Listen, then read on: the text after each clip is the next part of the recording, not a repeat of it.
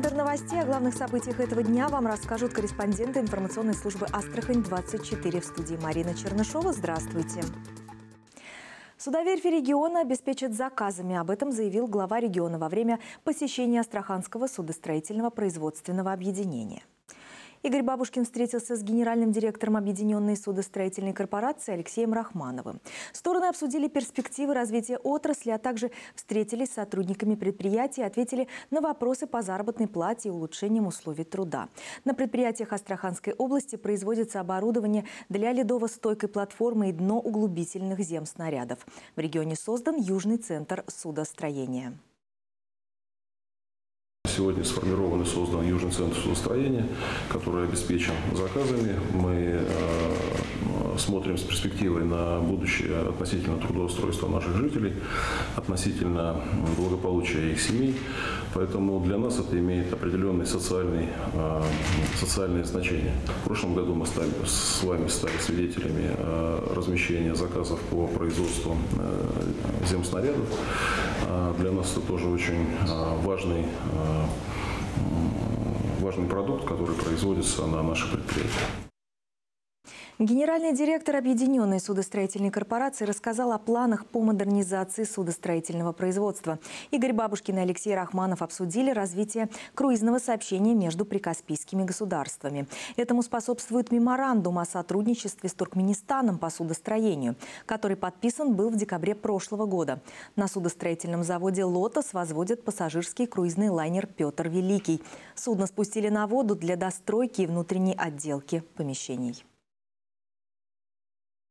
Здесь мы видим огромный потенциал, который поможет Астрахани не только стать э, центром, скажем, логистическим, о чем много раз говорили, и, э, собственно, большие инвестиции в порт в этом смысле э, являются хорошим предвестником этих событий, но и с точки зрения туризма. Я абсолютно убежден, что, надеюсь, достроенный в этом году пассажирский круизный лайнер хорошо покажет себя в традиционно зимние месяца, Жители Ахтубинского района жалуются на региональный фонд капитального ремонта. По их мнению, им выставляют необоснованные счета за капремонт. С этим вопросом они уже обращались к главе региона во время личной встречи. Тогда Игорь Бабушкин пообещал, что в район прибудут представители фонда. Сказано, сделано. С понедельника с рабочей поездкой в районе находится Александр Раров, руководитель фонда капитального ремонта многоквартирных домов в Астраханской области. Он провел приемы граждан в населенных пунктах. Сегодня в его расписании расписании «Конечная точка». Из города Ахтубинска на прямую связь со студией выходит Александр Раров. Добрый вечер, Александр Сергеевич. Здравствуйте. Здравствуйте. Вы уже провели приемы граждан в Знаменске, Нижнем и Верхнем Баскунчаке, сегодня в Ахтубинске. С какими вопросами к вам обратились жители района и какие уже удалось решить на месте? Да, действительно, по поручению губернатора Астраханской области мы отправились в поездку, в командировку для э, личного взаимодействия с жителями отдаленных наших районов. Э, вопросы э, говорится о задолженности. Вопросы жители задают, когда и капитальный ремонт будет у них произведен, э, как перенести сроки, как перейти э, на спецсчет, уйти со спецсчета. Э, в общей сложности где-то 800 граждан, граждан было принято, э, была произведена сверка, это вместе со Знаменском, Нижним Бускунчаком, Верхним Бускунчаком. То есть такая работа производится. Скажите, с чем связаны такие сбои в начислении платы за капремонт? И куда обращаться владельцам квартир, если они не согласны с цифрами в платежках? Обращаться можно э, в фонд капитального ремонта. У нас создан абонентский отдел, где проводится в еженедельном режиме, 5 дней в неделю, э, сверка платежей и учет. Выдаются справки. Э, если жители не согласны с существующими долгами, они могут обратиться в суд согласно жилищного кодекса. Какие планы по программе капремонта многоквартирных домов в Ахтубинском районе на этот год? Сколько домов запланировано отремонтировать? По Ахтубинскому району в планах фонда стоит 60 МКД, 250 видов работ. То есть это на один дом 2-3 вида работ. То есть аукцион прошел, подрядчик определен, в настоящее время выполняются работы. Мы сегодня посетили с администрацией, посмотрели за ходом выполнения работ.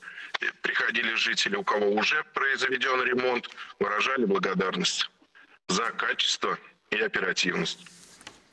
Охотно ли астраханцы платят за капремонт? Если смотреть по другим регионам, то как выглядит Астраханская область на их фоне?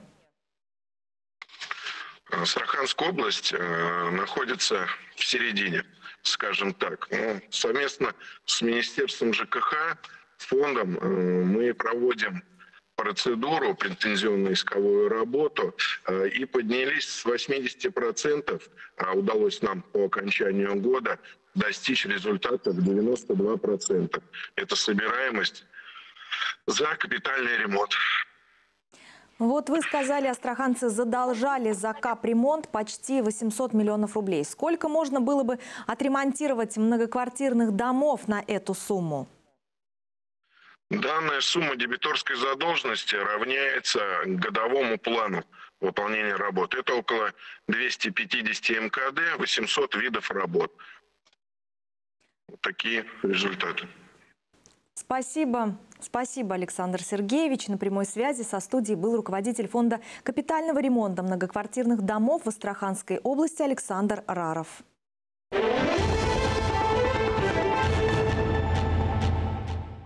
Астраханская область планирует снизить долю финансирования строительства Каспийского кластера. Если проект включат в комплексный план модернизации инфраструктуры России, то доля региона составит 3%. Об этом сообщил глава ОСЗ «Лотос» Сергей Милушкин на заседании правительства региона. Подробнее о проекте расскажем в следующем материале.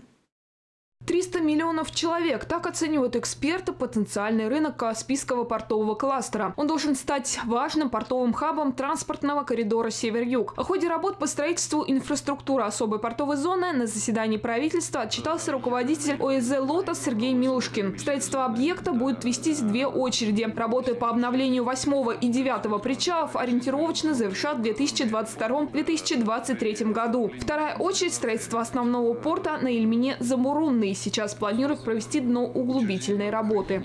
Есть предварительные договоренности с немецкими компаниями. Мы рассчитываем, как только получится с визами, они прибудут в Астраханскую область, доложат, и уже здесь будет подписано соглашение о начале совместной работы с крупными э, немецкими инвесторами и ПЛК «Каспия» совместной работе по реализации проекта на территории э, спортовой особой экономической э, зоны.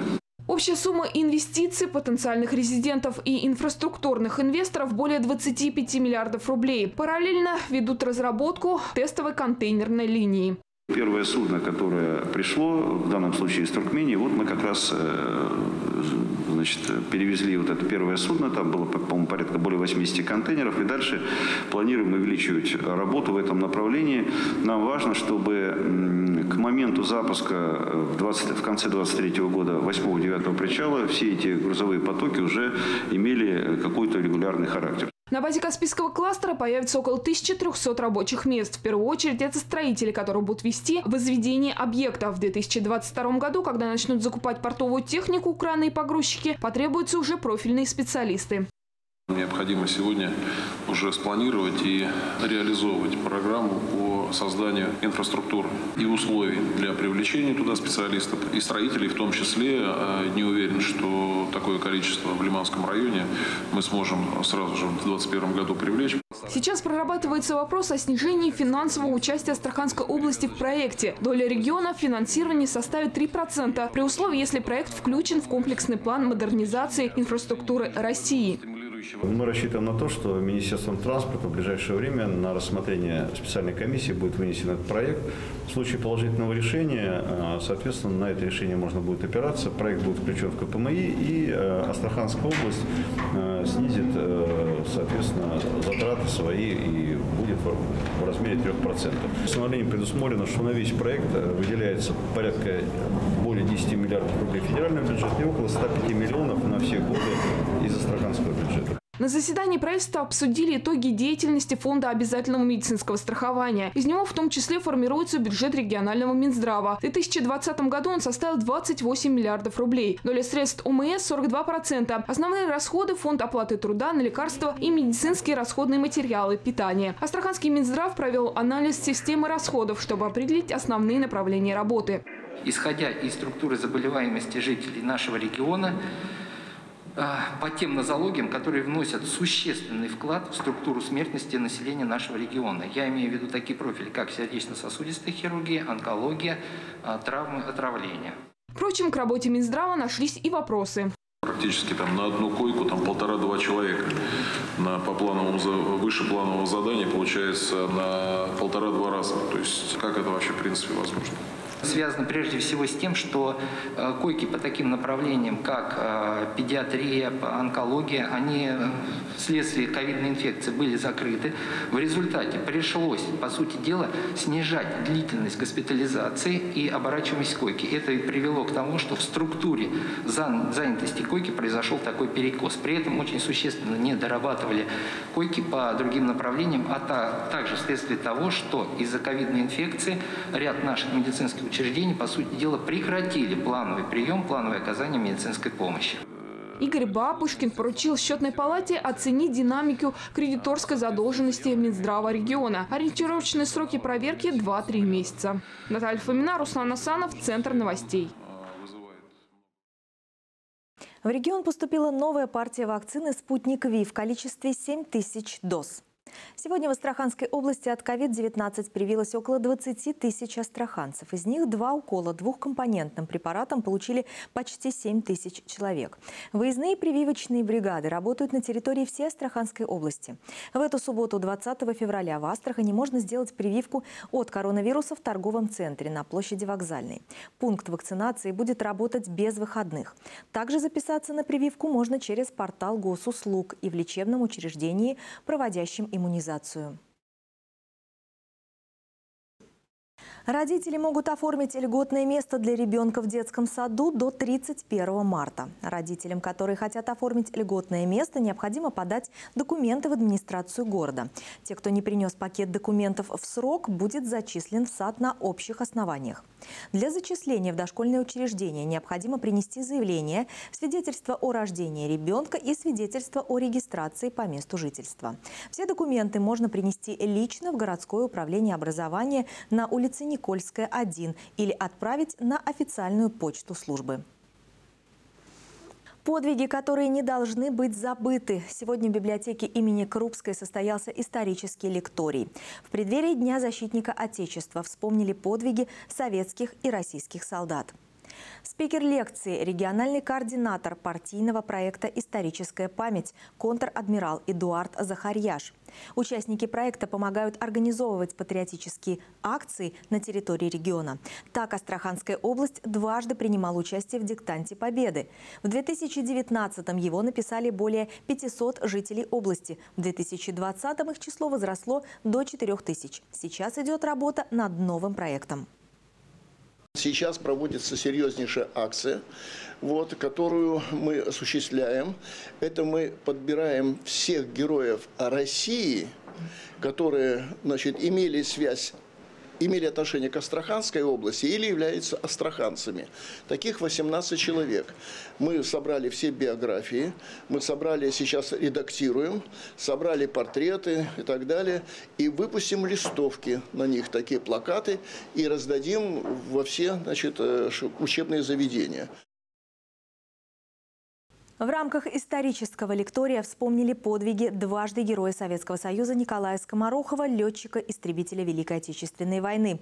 В издание вошли архивные материалы, публикации, воспоминания и письма сослуживцев, редкие фотографии из семейного архива. Книгу, посвященную памяти Николая Скоморохова, автор передала в летную войсковую часть. Книгу написала заслуженный работник культуры России Нина Куликова. Над книгой она работала вместе с дочерью летчика Светланой Скомороховой. Она в Москве, я в Астрахани. Мы каждое слово, каждое, ну не, не слово может быть, а каждый э, вариант и каждое предложение согласовывали. То есть шла переписка в течение полугода туда и сюда. Электронная, конечно, переписка. В Астрахань вернулось средневековье. Переместиться на несколько веков назад можно в центре молодежного реконструкторского движения. Викинги, золотоордынцы, европейские рыцари 13-15 веков – все под одной крышей. Наталья Фомина узнала, чем сегодня живут рыцари без страха и упрека. Поехали, бой! Техничнее! Техничнее работаем! Чтобы добиться такого рыцарского мастерства, нужно тренироваться не один месяц. Новички начинают со специальных упражнений. Вот пятнашки. Задача наступить на ногу противнику и не попасться самому. Простое на первый взгляд упражнение позволяет отточить координацию и ловкость. Поначалу просто вот те, кто пришли, первые, они просто вот скачут так, а, прокачивают дыхалку. Из множества таких элементов и складывается искусство рукопашного боя. Когда они отработаны, можно переходить к рыцарской борьбе. Сначала без доспехов, иначе есть риск травмироваться. Павшим считается боец, у которого появилась третья точка опоры. Это может быть рука, плечо, э, колено, э, значит, кромка щита. Рыцарская романтика привлекает не только мужчин. На ринг в реконструкторском клубе выходят настоящие валькирии. Это мое первое оружие. Это фальшион с шипом. Преимущество его в том, то, что в основном нужно бить вот этой ударной частью. И, скажем так, урон от оружия довольно-таки весомый. Для этого необходима хорошая спортивная подготовка. Увлечение рыцарскими боями может легко заменить спортзал. Наши занятия довольно-таки интенсивные. То есть э, можно привести себя в хорошую физическую форму. За этот год я сбросила довольно 6 килограмм. После того, как элементы отточены, можно выходить на ринг в доспехах. И снова безопасность превыше всего. Она называется тямбара. Вот. А, значит, это, собственно говоря, чехол. Под чехлом слой утеплителя, несколько слоев утеплителя для труб мягкого. И, собственно, вот эта сама пластиковая труба. Безопасность – одна из причин. Использование тямбары позволит сэкономить время. Для битвы на мечах предстоит облачиться в полный доспех, а это занимает массу времени. Даже опытные бойцы, вот даже топовые бойцы по России работают сейчас с тямбарами. Тямбара не позволяет нанести урон не только человеку, но и доспеху и спорт-инвентарю. Щит побывал в турнире в стальном. Соответственно, вот когда человек выходит в турнир, его бьют стальным мечом, он принимает удар. Ну, конечно, лучше принимать удар на плоскость щита, но не всегда это получается. Вот краешек щита уничтожен. Часть доспехов ребята заказывают у мастеров, часть изготавливают сами. Ярослав Кузнец начинал с простых элементов экипировки, например, металлических щитов. Постепенно освоил и цельнометаллический доспех. Они защищали ноги всадникам средневековья, и в адаптированном виде, так или иначе, их можно использовать у нас в боях. И это один из самых защищенных вариантов, защищает практически 80% ноги. Там единственная вот ну, часть не закрытая.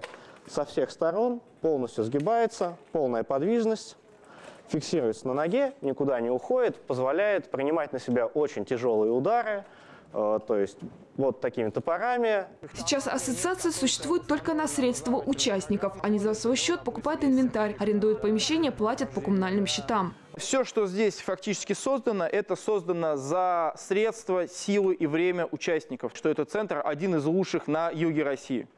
Вот. Ну, наверное, у нас был бы не один такой центр, а... или он был бы еще лучше, он был бы лучшим не только по югу России, но и, может быть, по всей России, если бы какая-то вот поддержка была бы. Опыт сотрудничества между реконструктором и правительством региона есть. Например, из соседней Калмыкии. Исторические фестивали привлекают туристов, а для молодежи это не скучный способ узнать историю. Например, вот в Калмыкии у меня есть друзья, там на местном уровне и на уровне республики это очень хорошо все поддерживается. И если вот мы к такому центру реконструкции шли почти 10 лет, то в Калмыкии в листе движение появилось в 2017 году. Ну, было заявлено, что оно появилось. А сейчас у них э, два подобных центра. Впрочем, пока поддержка реконструкторов целиком инициатива регионов. На уровне государства таких программ пока нет. Хотя эксперты не раз отмечали, фестивали реконструкторов помогают развивать событийный туризм. Наталья Фомина, Ильдар Морозов, Центр новостей. Премьера состоялась. Закрытая презентация сериала «Мастер» прошла в Москве. Сегодня премьера на онлайн-платформе, а завтра создатели и актеры сериала приедут в Астрахань. Большая часть съемок проходила в нашем регионе. О том, чего ждать от презентации и самой премьеры, говорим сегодня с исполнителем одной из ролей в сериале Никитой Павленко. Никита, добрый вечер. Добрый вечер. Поздравляю вас с премьерой. Завтра ожидаем в Астрахани. Конечно, будет много воспоминаний о том, как проходили съемки сериала. Что вспоминается в первую очередь? Ой, вы знаете, в первую очередь, э, так сказать, э, я вообще человек э, в таких кавычках недалекий, так скажем, от э, Астрахани. Я родился в Волгограде. Вот. Но, соответственно, я привыкший к э, нашим таким очень жарким погодным условиям. Наверное, это было самое сложное для съемочной группы. В остальном все с огромным удовольствием. И в родных краях побывать, вы знаете, это самое лучшее, что может быть. Снимать про то, что дико интересно, и про то, что дико сильно, особенно находясь в, в таких наших родных местах. Сложно ли было вживаться в образ героя Наиля? Общались ли вы с профессиональными гонщиками перед съемками? Э, разумеется, естественно, у каждого был э, непосредственно свой консультант, э, у каждого пилота, у каждого актера, кто исполнял роль пилота. У меня таким был чемпион Андрей Каргинов, у других ребят был Антон Шибалов, у кого-то был чемпион нынешнего Дакара Дмитрий Сотников. С ребятами, благодаря ребятам получилось все достаточно легко и ничего сложного, а только даже интересно. И это, так скажем, зараженный интерес до сих пор не гаснет. Никита, на съемочной площадке были ли у вас дублеры или вы все трюки вождения выполняли самостоятельно? Э, у нас были дублеры, естественно, дублировали э, сами гонки на КАМАЗах непосредственно пилоты команды. А такое, что исполняли мы сами, это касалось только картингов. Вот. Сами мы, естественно, не сидели за рулем КАМАЗа. Съемки проходили в разных городах. Вы были задействованы в съемках и в Астраханской области. Как вы выстояли испытания жарой в Астраханской степи? Как уже ранее сказал, вы знаете, я человек привыкший, поэтому я это выдерживал только с удовольствием. Э, другие люди все-таки переживали уже более как-то сложнее эти все моменты. Но вы знаете, когда действительно очень заражен процессом, погодные условия не важны. Кому рекомендуете обязательно смотреть сериал «Мастер»? Вы знаете, рекомендую абсолютно всем, без каких-то категорий и каких-то лишних отборов или еще чего-то. Мне кажется, это будет интересно всем, э, потому что КАМАЗ – это про сильных людей и про что-то действительно настоящее, что собой люди представляют. Поэтому про настоящее всегда интересно всем смотреть. Так что, я думаю, никто не останется равнодушным. Поэтому призываю всех, всех, всех смотреть уже сегодня, с 18 февраля, на платформе ТНТ Премьер сериал «КАМАЗ Мастер».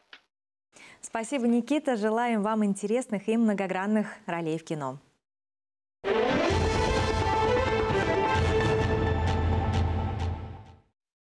Столбы света повисли над Астраханью этой ночью. Астраханцы сфотографировали необычное явление в небе над городом минувшую ночь 17 на 18 февраля в регион пришли не только зимние заморозки до минус 15, но и настоящее северное сияние. Над ночным астраханским небом невооруженным глазом можно было наблюдать вертикальные полосы небесного свечения. Это атмосферное явление называют световыми столбами. По словам ученых, такое явление образуется, когда свет от небесных тел или от наземных источников, например, фонарей, отражается на ледяных кристаллах, рассеянных в воздухе. Морозная погода и снег к этому располагают.